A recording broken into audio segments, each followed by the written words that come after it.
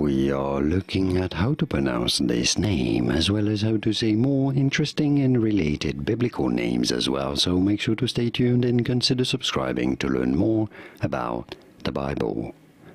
How do you say it? Nahor. Nahor. Pretty straightforward.